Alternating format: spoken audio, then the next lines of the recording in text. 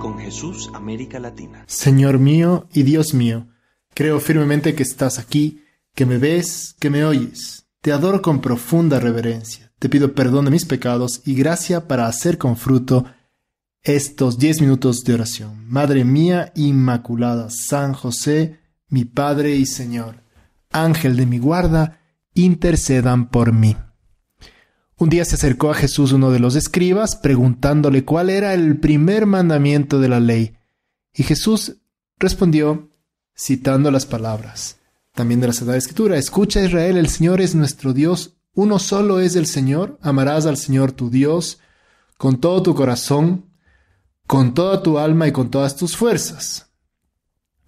Que hemos oído e hizo de ellas el primero de los mandamientos.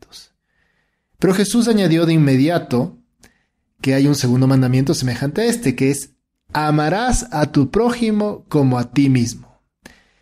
Y para cerrar todo dijo, de estos dos mandamientos dependen toda la ley y los profetas.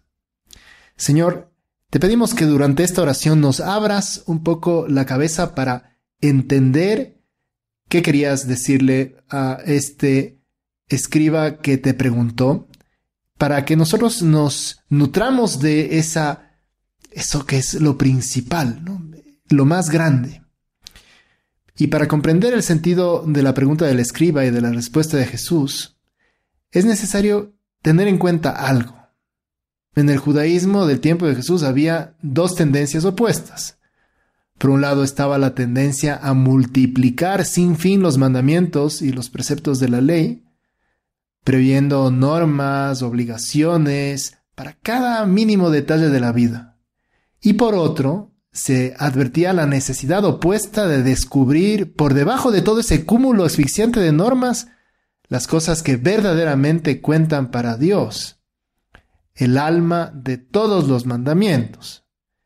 Y el interrogante del escriba, esa pregunta hecha a bocajarro, y la respuesta de Jesús tan precisa, nos introducen en esta línea de búsqueda de lo esencial de la ley para no dispersarse entre miles de preceptos secundarios. Y es que es justamente esta elección de método la que nos debería servir para todas las elecciones que hacemos en nuestra vida. ¿Qué es lo más importante? ¿Qué es lo que está en el meollo del asunto? Y así nos evitaríamos también tantas tonterías no dispersarse entre miles de preceptos secundarios. Y es justamente esta elección de método la que tenemos que intentar tener siempre clara.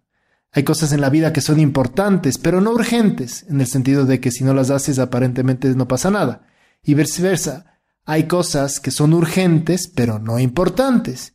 Y nuestro riesgo es sacrificar sistemáticamente las cosas importantes para correr detrás de las urgentes que frecuentemente son secundarias. Los cristianos debemos experimentar de manera muy concreta esa comunión de los santos, ese vínculo misterioso que une a todos los bautizados en la oración silenciosa y en el cara a cara con Dios. Si pensamos, por ejemplo, en nuestra vida, ¿cómo tratas a la gente que está a tu alrededor? Por ejemplo, lo urgente podría ser que se tiene que sacar este sitio adelante y por eso grito y por eso mm, hago que la gente corra y que... Pero tal vez no es lo más importante. Lo más importante es la gente en sí. No es la eficacia de que el trabajo se haga, sino la manera en la que tratas a la gente, en la que les demuestras que, que estás no por encima. ¿Cuántas veces tratamos mal a las personas que trabajan con nosotros, a las personas que dependen de nosotros, porque nos parece que no se hacen las cosas bien o queremos que se hagan más rápido o porque nos parece que estamos por encima. Es importante redescubrir cuán preciosa puede ser esta costumbre de leer la palabra de Dios, de darnos cuenta de lo que el Señor quiere, ¿no? Que amemos a los demás como a nosotros mismos, que valoremos a los demás, que que sepamos llevarles, por supuesto, exigirles y ayudarles a ser virtuosos, pero no en base a gritos o a fórmulas desagradables o a ironías que lo único que hacen es complicar cada vez más la relación con todos. Hay que luchar por darnos cuenta de que los demás necesitan de nuestra alegría, de nuestra paz, o que vean nuestra lucha por, por controlar nuestro mal carácter, por que si se nos ha salido, luego pedimos perdón, que intentamos rectificar, pero que, claro, no mostramos esa, esa hiel del desaliento o esa frustración que nos hace mostrarnos duros, implacables o juzgadores de los demás. Amar a los demás es ayudarles a crecer, es darse cuenta del amor que Dios tiene a cada una de sus criaturas y justamente por ese amor nosotros esforzarnos por amarles más a nuestros semejantes. ¿Cuánto les quiere Dios Padre a cada uno de ellos? Pues de forma infinita. Y de la misma manera nosotros nos esforzamos por quererles a los demás así. Es algo que tal vez no lo tenemos tanto en cuenta, pero mira, la gente que trabaja contigo, regresa a ver tal vez esos personas que, que están en la calle vendiendo, vendiendo cosas para subsistir o, o a un mesero en un restaurante o o a gente que nos atiende en el banco o tantas interacciones que tenemos con otras personas que no conocemos y que a ellas también tenemos que hacerles sentir que son importantes. No porque eh, somos bien educados, ¿no? Una cosa de la buena educación claramente es tratar bien a los demás. El que es mm, mal educado trata con desapego o, o con inclusive violencia, exige las cosas, las hace de, mala gana cuando ¿no? Pero en cambio los educados saben que es preferible pasarlo uno mal hacer pasar mal a los demás, ¿de acuerdo?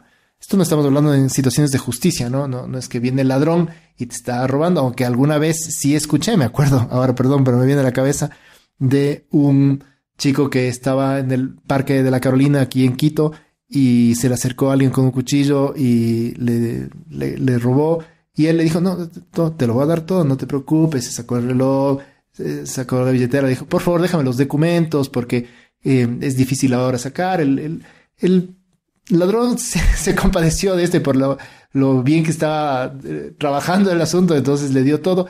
Y después el chico se dio cuenta que no tenía para volverse en bus, entonces dijo, oye, déjame una monedita para irme en el bus. Y el ladrón le dio una monedita. Bueno, ese es el, el robo más simpático que he escuchado. Bueno, robo, robo a la final.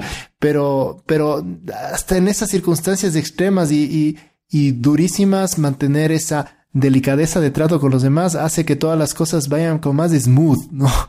Señor Jesús, tú que nos escuchas, ayúdanos a tener esa delicadeza de trato que se manifieste el amor que te tenemos en el amor con el que tratamos al prójimo. Nadie puede decir que ama a Dios al que no ve si no ama a su prójimo al que sí ve. Y eso implica que aprendamos también a perdonar, que nos llevemos cuentas de las cosas que nos han hecho mal, que no alberguemos en nuestro corazón rencores que nos hacen comportarnos de forma a veces hasta violenta o una forma peor que es una forma en la que no, mientras no me cruce con él, mientras no haga nada con él, y eso le debe doler mucho al Señor también. Darse cuenta de que Dios quiere para nosotros que seamos sus brazos sobre la tierra, que no, que no le demos como, no sé, no, eh, iras a la gente o despecho, ¿no? Hay una interacción necesaria entre amor a Dios y amor al prójimo. Decía Benedicto XVI, si en mi vida falta completamente el contacto con Dios, jamás puedo ver en el otro más que el otro y no consigo considerar en él una imagen divina. En cambio, en mi, si mi vida descuido completamente la atención del otro deseando solamente ser piadoso o cumplir con mis deberes religiosos, entonces mi relación con Dios será seca. Cuando es así, esta relación es solamente correcta pero sin amor. Tan solo mi disponibilidad de ir al encuentro del prójimo a testimoniarle mi amor me hace también sensible ante Dios Solo el servicio al prójimo abre mis ojos a ese Dios hecho para mí según su propia manera de amarme. Amor a Dios, amor al prójimo. Solo amando al prójimo amaremos a Dios. Vamos a poner estas intenciones en manos de nuestra Madre la Virgen. ¿Cómo amó María a los que estaban a su alrededor? Increíble.